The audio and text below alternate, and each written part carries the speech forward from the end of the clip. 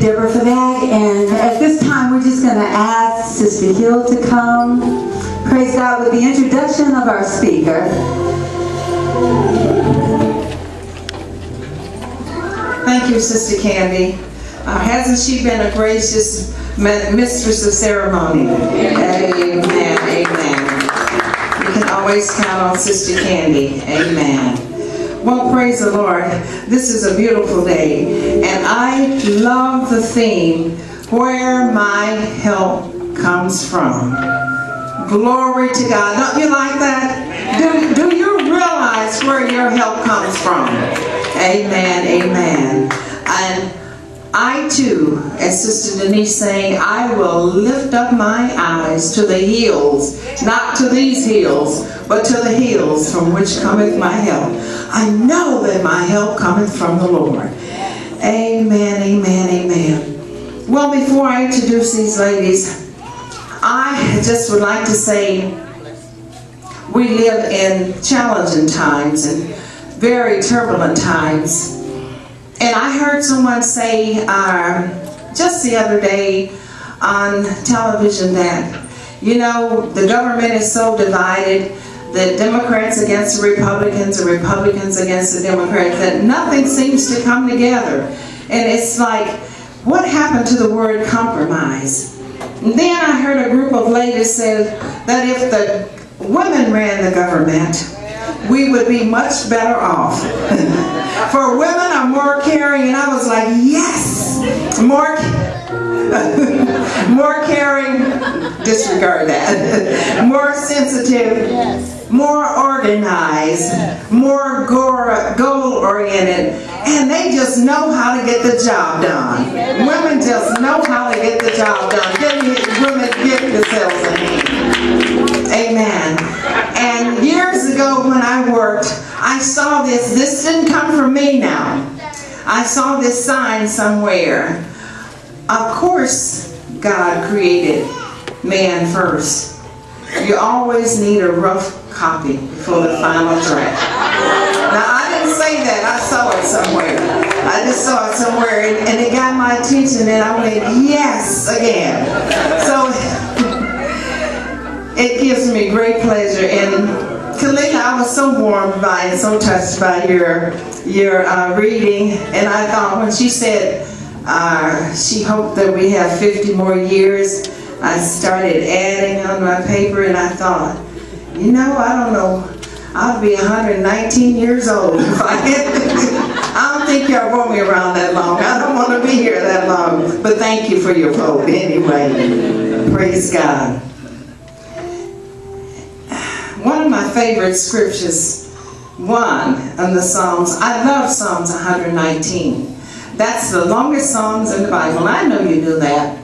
But one of the, my favorite parts of that is 119, 165 that says, Great peace have they that love thy law, and nothing shall offend them. Nothing. And I can tell you, you know, I love you and I love the Lord. I love the law. And I don't care what people say or do uh, negative toward me. I'm not going to be offended. Did y'all know that? I don't easily get offended. It, and I've learned to let it roll off, just roll off. But anyway, I'm here to um, introduce these uh, women today. Um, no, I'm not going to uh, introduce Ruth. I'm not introducing Naomi. And it's not Dorcas that I'm going to talk about today. It's not even Deborah. Not going to talk about Eve. But these two lovely women are contemporary women. They're women in our presence. And I'm going to introduce them individually. Our first speaker comes to us. We've known her many, many, many years. And it gives me great pleasure to introduce her because she is such, I asked her to write a few things down and what she wrote down was good. But I must tell you what she, uh, what she did write is what I know of her. She is just such a warm, loving, giving person who is very sincere. And I've had an opportunity to spend many, well, not many, but several hours in counseling and talking with her. And one thing I know about her, when you confront her, she's going to tell you the truth. You know, sometimes many people, uh, they'll skirt around the issue. They'll tell you a half truth, and they're kind of just kind of meander around, but not this sister. She's going to shoot it straight. And that's what I really, really like about her. She is a graduate of Booker T. Washington High School.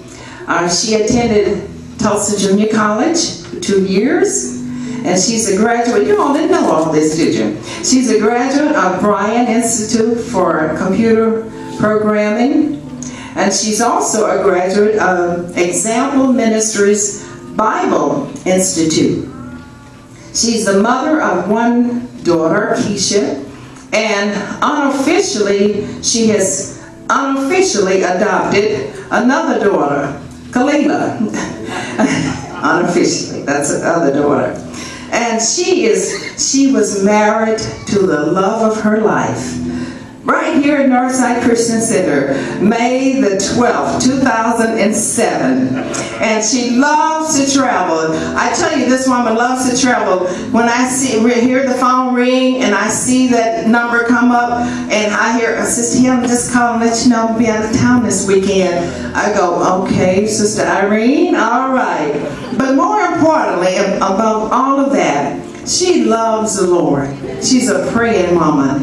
And she loves the scripture. And I just love that about her. She's a warm, loving, giving person. Help me, Northside, to welcome our first speaker of the hour, Sister Irene Tidwell. Come on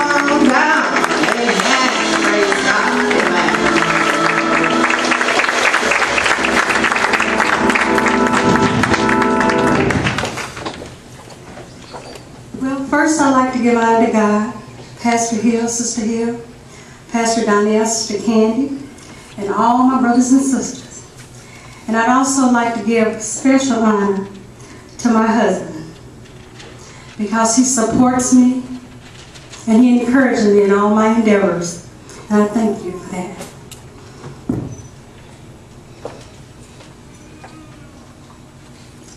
I first like to pray the Lord I thank you for using me as a willing vessel.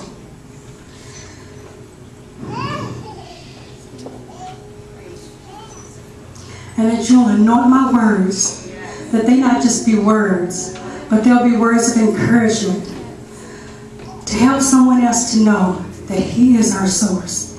He is our help in every situation, in every circumstances. And that He may get all the praise and the glory. In Jesus' name. Thank you. Where my help come from? I'm going to first start my topic in Psalms. Psalms 33 and 20. Y'all pray for me. I'm a little nervous, but I know God is going to do what he needs to do. Praise God. Psalms 33 and 20. Our soul waited for the Lord. He is our help and our shield. Psalms 46 and 1. God is our refuge and strength, a very present help in trouble. Psalms 121, 1 through 8. I will lift up mine eyes unto the hills, from whence from cometh my help. My help cometh from the Lord, which made heaven and earth. He will not suffer my foot to be moved. He that keepeth thee will not slumber. Behold, he that keepeth Israel shall neither slumber nor sleep. The Lord is thy keeper. The Lord is thy shade upon thy right hand. The sun shall not smite thee by day, nor the moon by night. The Lord shall preserve thee from all evil. He shall preserve thy soul.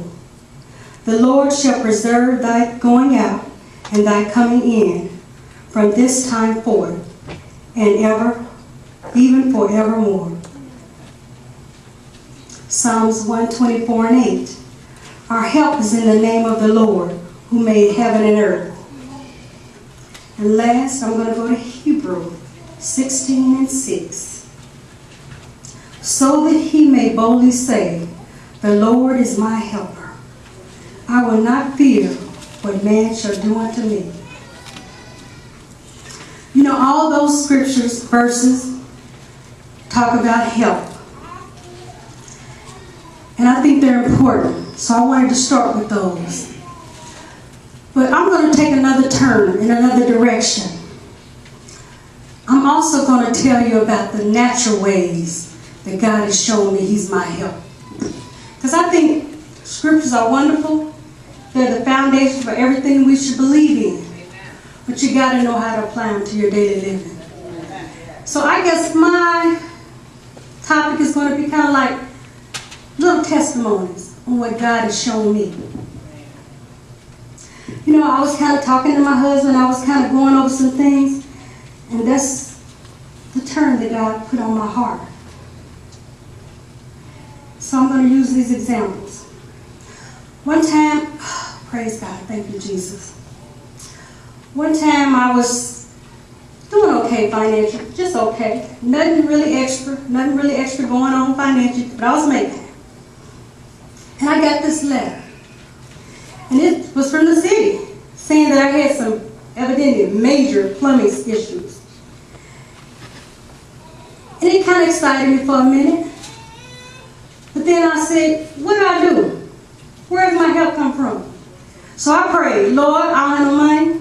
You got to do something. I mean, I know this is the city, but you're greater than the city. So I don't know, but it's like, I guess the Holy Spirit said, go back and read the letter again. So I went back to the letter. Lord, it's the right address, but I live on place. It said Avenue. It wasn't my mail. Thank you, Lord. When I first moved in that property, the lady had her husband come and tell me, she said, baby, I want you to know that a lot of times you, you might get our mail because we got the same address. I didn't think about it at the time. It, you know what? God forgive me. But I rejoiced a little bit. I said, Lord, I hate it for them, but thank the Lord it's not mine. So I took it to him. And my husband, as I was sharing the Lord help me, I remember he was telling me long before I met him, and I had never heard of this. But his job decided that they would tell you if you lost your job by sending you a letter through DHL, the big yellow trucks. I never heard of such a thing. He said all of a sudden one day the yellow truck came his driveway and he began to pray. The man turned around and went somewhere else. He been working there over 30 years. You tell me where your help come from? Your help come from the Lord because they went somewhere else. You know, God can help you financially, He can help you emotionally, He can help you in every Thank you, Lord. Hallelujah. This is getting good. You know, my dad at one time, no, it was my mother. I'm gonna start my dad. My dad was sick one time. No, I'm gonna go back to my mom. She was sick, and it was late at night, and my dad had called me and I got kind of excited because he mentioned something about giving us some orange juice. So then I recall how he used to talk about his dad having diabetes and how the orange juice would bring him out going into a diabetic coma. So I got alerted because I knew that what the problem was. So immediately, I, my, me and my daughters, we went to my, um, my dad and mom's house. And my mother was almost gone. And I'll never forget, Pastor Hill always have 5 o'clock prayer. And I called, because of course I was excited. I called 911, but I called the church. Sister Donna used to be here at that time, 5 o'clock prayer, my understanding almost all of the time. Before I could hang up the phone good, she was speaking in tongues. And you know, I kind of got a peace. But as the paramedics started working on her, the man got so upset. I could tell that he was afraid. So for a second, I got afraid. And I said, the devil is a lie. And I said, God said he's not giving me a spirit of fear, but a love, power, and a sound mind. And he, almost immediately when I prayed that, God said to me, tell him to try to back of our hand. And when I told him, he said, that usually never works. But at this point, I'll try anything. He immediately found a vein. He started pushing the glucose in her system, and she came out of it. Tell me where my help came from. Hallelujah. Thank you, Lord. My mother lived years after that. My daddy got sick. By then, he was in his 80s. And I'll never forget. I went talked the word. God said he promised us at least three scores and ten. That's 70 years. I said, Lord, I know you gave him that then some, but I'm not ready. Could you give him a little more time to get me ready? And he did. My daddy lived a lot more years longer.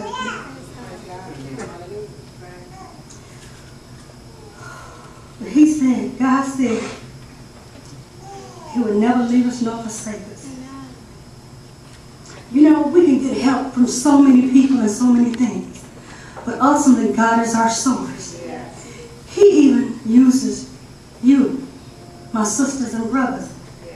Through you, you help me. Through Pastor Hill, my sisters, I'm here today. You know, if you had encouragement, I wouldn't be here. Because, you know, God can still let us be in our feelings and emotions. But today, you wouldn't let me be in my feelings and emotions. I had to be here because I wanted to be obedient. Because you know what? I know where my help comes from.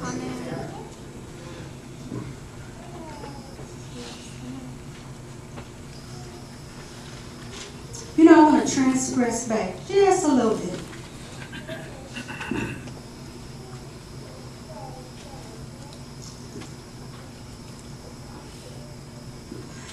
You know,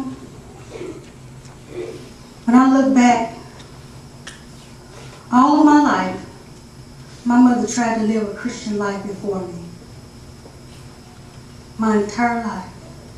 But my dad, he confessed to be a, a backslider. But he always told me stories of how God helped him, how he even saved his life. He shared with me how back in the day, they didn't really have a lot of treatment for spinal meningitis. I mean, they just pretty much gave you up to die.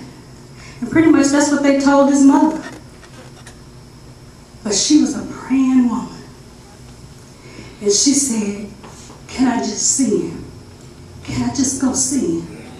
So they allowed. And my father could still see what was going on, even though he really couldn't move, he was paralyzed. She threw off her gown and her mask, and she prayed for him. And my dad would tell me how she prayed. How she said, God, you said, if I would live for you, you will give me the desires of my heart. That's my only son. Spare his life. Spare his life. He said his arms flew open. And he began to move. They had even asked her to give him what they called back in the day a black shot to just put him out of his misery. But she wouldn't allow it. See, even way back then, God was even using my father to be my help. But who put that in him? God. So still ultimately my help coming from the Lord.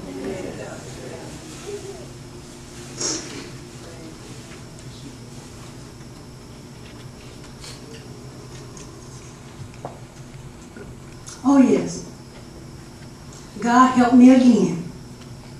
Before my dad left this world, God helped me minister to him. And he boasts to people about how I prayed for him, and how he got saved and started speaking in tongues. Now you tell me where my help come from. My help has always, always come from the Lord.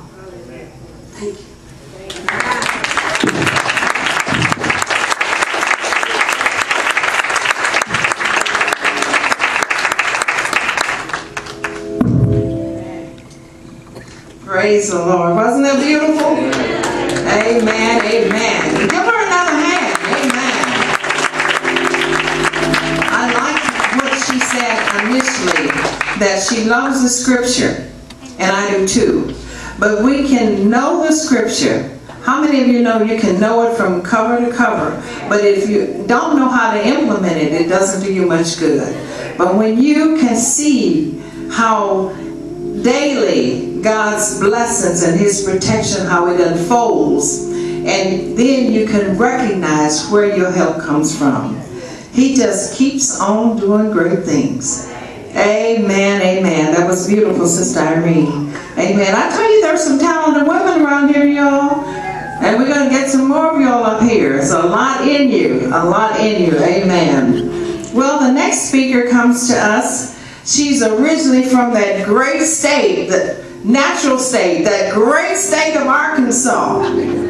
Arkansas. Amen. Yours truly. Amen. She received Christ as her Savior and Lord at an early age, at the early age of 15 years. That means she's been running, you know, they sing in a sanctified church. She's been running for Jesus a long time and ain't got tired yet. That's what that song says. Amen. Have you gotten tired yet? No, no, no, no. Then she was called to the ministry at the age of 38 years. She's also married to a wonderful husband of 29, 21 years, I'm sorry, 21 years. Amen. And today she is a mother of two daughters, and she has two beautiful grandchildren. So today we just lost Sister Panola. I don't know if you remember, she was here some years back, moved back to Arkansas. And when she decided to come back to Oklahoma, she called and says, I'm coming back. And she's back here at Northside. And so we're so glad she's back with us. Northside, help me to welcome Sister Panola Washington. Amen.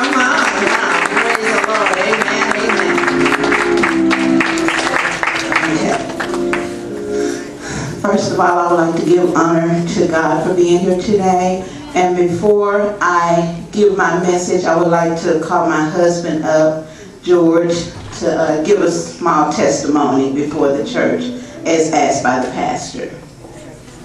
Praise the Lord. Good morning, everybody. Good morning. Well, this is my testimony to y'all as, you know, to younger guys my age and, you know, and older cats and stuff. okay. Um, I'm kind of like uh, disabled because of my back and stuff, you know, when I was out in the streets and stuff, you know, before this happened, I was being a bad boy. I'm talking about real bad. So, um, God had um, had to shut me down. He's like, uh, son, you got to slow down, slow your roll, you know, this don't make no sense, you know, what you're doing out here in these streets and stuff. You know, because I've been around my wife and she in church and stuff, and I'm out here in these streets. So, he had to shut me down for a while, and, you know, and as I, as it happened to me, uh, my wife had to rush me to the hospital and stuff because all my body organs shut down and stuff. And the doctor had told her, if you know, if you wouldn't have got me there in time, you know, I would have died. So, as I got there and stuff, and they, uh, you know, prep me up and stuff and all that, and um, and into the surgery where I don't remember, well, I remember after surgery, they told my wife, you know, it, it, you know, I had passed, you know, and they brought me back. And so, so um, I'm gonna tell you what happened now. Tell y'all, this is a true story. I'm not lying. I'm in the church. So um, I went to heaven. Jesus took me to heaven with him when he took me to heaven and stuff, you know, and I looked in his uh, hands, in his arm right here, and I was like, this is Jesus. This is God's son. And all thing I can do is bow down. I'm talking about I was praising. I was thinking, thank you, Jesus. Thank you because, you know, I thought I was going to hell. Because I was, you know, being a bad boy, like I said. So anyway, after all that, after all this said and done and stuff, after I came out of recovery and stuff, I was telling, and God told me to start telling everybody, forgive me, forgive me, you know what I'm saying? Whatever I did to you, forgive me. You know what I'm saying? I don't care. If I didn't do nothing, I said forgive me. So um, when I did that and stuff, and I was going around saying that and stuff like that, and um, I started being better in church and stuff, and I thank God, you know, because um, when I, um, before I started going to church more and more and more, I was walking with a walker, y'all. I was getting mad about that. I said, God, please, Lord, help me. What can I do? You know, I'm walking with this walker. I'm tired of walking with this walker. I'm a young man and this and that. But you know what? He said yeah, shut me down. He said, you still got to learn your lesson.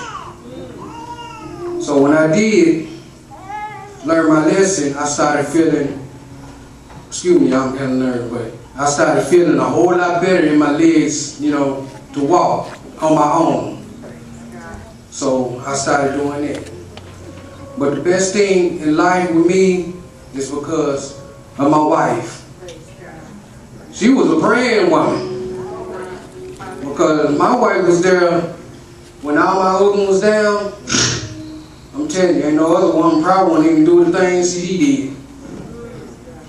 And when she did that, and I just thank her more and more every day in my life. And I thank him for giving her to me because I was, um, I think I was like, probably about seven, eight years old when I first seen my wife. And I told my baby brother, I said, that's gonna be my wife right there, man. he was like, no, man, no, she too old, man, she too old, man. I was like, no, she gonna be my wife. So, uh, when I finally got with her and stuff and married her, you know, that's when I was out in the streets and stuff, but God made me a good husband to her, and I thank him for that because I cared about her so much. I love her so much. That's why I'm still here. Well, that's my testimony, y'all. Thank y'all.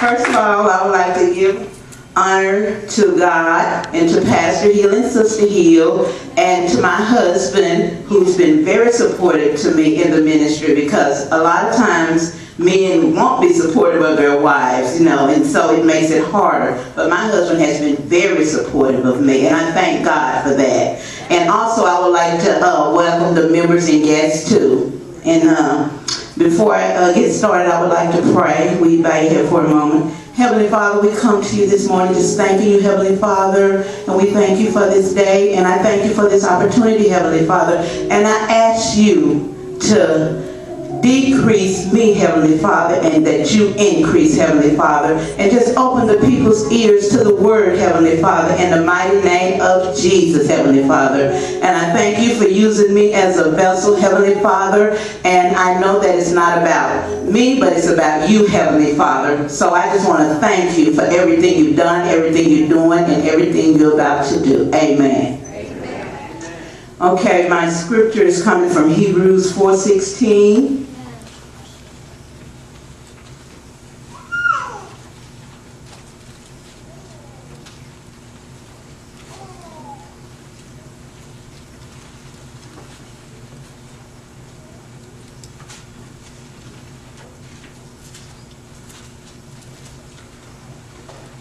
Okay, have it. It says, Let us therefore come boldly unto the throne of grace, that we may obtain mercy and find grace to help in the time of need. And I entitled my sermon, God is the source of all our help. And in my introduction, I would like to say in these last troubled days, we have to look to God for our help. Because without God, it would be impossible to live on this earth. Because our lives are full of trials and tribulations, and He is the source of all our strength. Uh, when we grow weary, He carries us through. God makes our troubled days easy to go through when we put on our garment of praise. And in my life, I have learned to praise Him in the good and the bad times because He always comes through. And my experience of His help comes came when my husband had to have back surgery. Before surgery, he had gotten to the point where he had to use a walker. Then, when he had to be rushed to the hospital for back surgery, I was in a very fragile state. And they admitted him and did surgery. I was so nervous because when you have back surgery near the spine, one bad move, just one, and it could cause you to be permanently disabled. So I know the Lord had to help me on that part. And so uh, he came through with prayer and for the rest of your life. So in the meantime, I was going to work, leave there and going to the hospital. I mean, it was just a wear and tear on me. Then I would get up and go home and take a shower. Couldn't even lay in my bed, just look at the bed, go back to work. And it was strenuous, and I did that for 11 days straight. And that was really, really, really hard on me. But I know the Lord helped me on that. And I wanted to cry so bad because of what I was going through, but God would let my, my eyes would tear up, but I could not cry. And the only thing I know that, that meant that God was telling me it's going to be all right. And during that time, a song that really encouraged me was Kirk Franklin's song, Smile Again, because, I mean, my head was down. I was sad. I didn't know what to do. I mean, that really encouraged me and helped me just to get through everything. And so um, I thank him for that song. And then after he came on, I had to take good care of him with staples in his back. And if it had not been for God on my side helping me and giving me the strength to endure, I would not have made it. In closing, I would like to say, God is the strength and the wind beneath my wings in the time of trouble. And he carries us and takes us takes on all of our burdens, which is a real blessing to his children. I'm so glad he sent his son to die for our sins and then sent the Holy Spirit to be our comforter. In the times of trouble, cry out unto the Lord, and he will be there for you.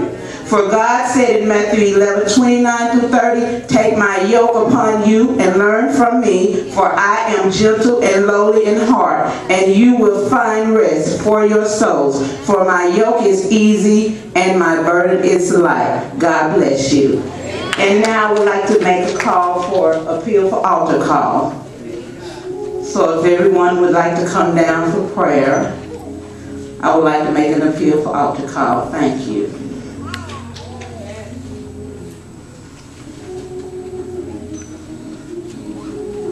We want to thank Sister Panola for those beautiful words. Amen. Amen. Praise God. And she's um, uh, the appeal that um, I just want to enlarge upon it just a little bit. Thank you so much. There may be some of you that are present today that maybe cannot say, as these women have said, I know where my help comes from. Maybe you're not at that point. Maybe you've never made a real quality commitment to the Lord. Maybe you've made, uh, you've come to the point where you've thought about it, and but not seriously. But I don't want you to depart from this place today if you're not certain that if the Lord would call your name tonight, that you would be ready to go with him. We never know. We never know. And as I stand here today to make that appeal for those that are not saved and you may have made, as I said, a half-hearted commitment or maybe you haven't made a commitment at all. I want to relate this. Some years back, there was a, a man, pastor was preaching, and he was sitting, I believe, the same seat that Brother Donnell Williams Jr. is sitting in, right on that corner. I remember it so vividly. He was sitting there, and we were in service, and Pastor, you know, he was making a strong altar call. And this man was looking at him just like this. And I just knew that he needed to go up there, but he didn't. And I was almost at the point of going over and telling him and just encouraging him to come to the altar. I didn't do that because I thought, you know, a woman approaching a man, maybe some people will think that, you know, that's something untoward, so I didn't do that. But I had only met this person one time, was introduced to him by a friend of mine in the cafeteria where I work. But I don't even know how he got to Northside. I didn't invite him. But he sat there that night when Pastor pleaded, please come. And it was just a universal plea, it wasn't to him. And he just made it. but he didn't go. He didn't come. And it was, he walked.